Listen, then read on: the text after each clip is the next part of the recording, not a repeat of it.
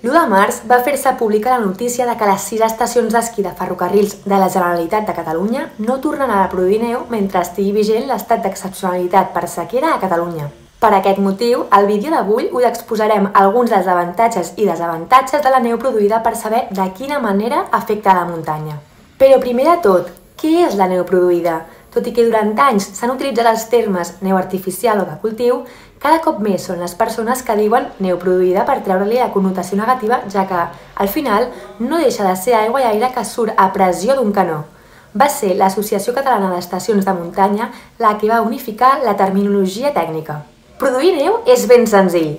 Quan la temperatura baixa de 0 graus, sent la ideal de menys 4 i menys 5 graus centígrads, els canons de neu expulsen i polvoritzen aigua a alta pressió que, amb el fred, es converteix en un petit floc de neu abans de caure al terra. El responsable de producció de neu a Masella, David Sirvent, va explicar en una entrevista amb el Diari de la Neu que és un procés automatitzat, les vàlvules automàtiques reben constantment les instruccions de regulació de l'ordinador que calcula per a cadascuna d'elles el cabal d'aigua i aire que ha de deixar passar en funció de la temperatura i higromètria indicades per la sonda més propera, el model de canó utilitzat i la qualitat de la neu escollida. I des d'aquí volem aclarir que per fer això no es fan servir additius. Ara bé, és cert que en alguns països afegeixen a l'aigua emmagatzemada en llacs un bacteri que permet l'ús dels canons a temperatures una mica més altes. Aquest bacteri rep el nom de Pseudomonas syringae, tot i que és conegut amb el nom comercial de Snomax, que sovint es troba a la pell exterior dels tomàquets i no té cap impacte sobre la fauna i la flora de la muntanya.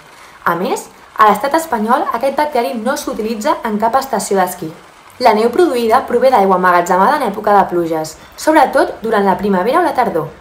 Es tracten de llacs de construcció artificials que se situen en diversos punts estratègics de l'àrea esquiable i que han estat impermeabilitzats. A més, aquestes basses d'aigua sovint són destinades a altres usos fora de la temporada de neu, que poden ser lúdics, d'emergència per al consum humà i animal en cas de sequera o fins i tot per a proveïment en cas d'incendi forestal en zones properes. La neu produïda és més densa que la natural i per aquest motiu el seu procés de fos en aigua és més lent que el de la neu natural, de manera que resisteix millor i per més temps a les altes temperatures.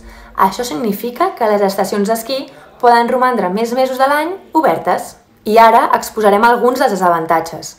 Els canons de neu consumeixen molta energia i es tracten d'una de les despeses més importants de les estacions d'esquí però cal fer constar que la producció de neu és cada vegada més eficient i els canons que es fabriquen des de 2015 i fins als nostres dies permeten una major eficiència i millor producció. En cas d'accedir al consum d'energia o aigua, però, el responsable de producció de neu a la Molina va explicar en una entrevista que poden arribar a tenir una penalització econòmica important i fins i tot es podria produir un tall d'energia a tota l'estació que faria parar de cop tots els remuntadors.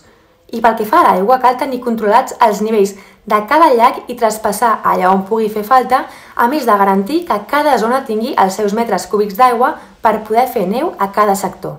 Un altre desavantatge és que els canons fan soroll quan produeixen neu, de manera que la fauna salvatge evita les proximitats d'una estació d'esquí quan aquesta té activa dels canons.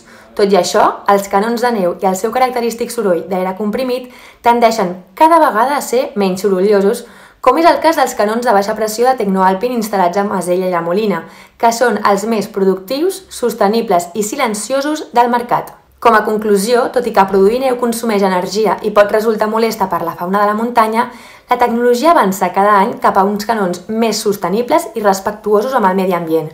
Per una altra banda, el fet de produir neu allarga la temporada dels esports de neu, per la qual cosa es dona estabilitat a l'economia de tantes persones i negocis que depenen de l'oci de la muntanya, com botigues, tallers, hotels, restaurants, empreses de transports o agències de viatges.